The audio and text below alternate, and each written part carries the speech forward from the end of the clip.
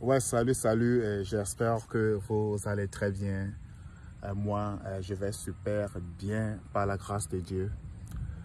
J'aimerais juste dire à quelqu'un que peu importe ce que tu es en train de passer, laisse-moi te rassurer encore une fois aujourd'hui que ce que tu es en train de vivre aujourd'hui ne déterminera jamais ton futur. Peu importe ce que tu es en train de voir aujourd'hui, peu importe ce que tu es en train de vivre aujourd'hui, peu importe le dessin de ta vie aujourd'hui, laisse-moi te faire comprendre que demain sera meilleur qu'aujourd'hui. La Bible nous fait comprendre que la gloire de la deuxième maison sera plus grande que la première. Alors, il faut que ça devienne des temps de prophétie pour toi-même. Il faut changer ta vie par rapport à tes pensées. Il faut changer ta vie par rapport à tes paroles. Il faut changer ta vie par rapport à ton comportement. Parce que la plupart des personnes vivent dans la dépression, les gens, la plupart des personnes vivent dans le manque.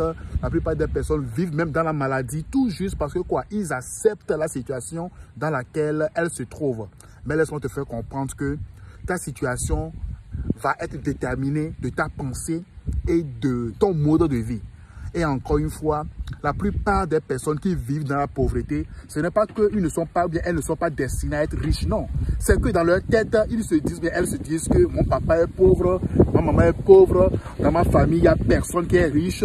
Et alors, cette pauvreté, ou bien cette onction de la pauvreté se repose sur leur vie. C'est ce qui fait qu'ils n'arrivent pas à sortir de cette, euh, de cette pauvreté chronique.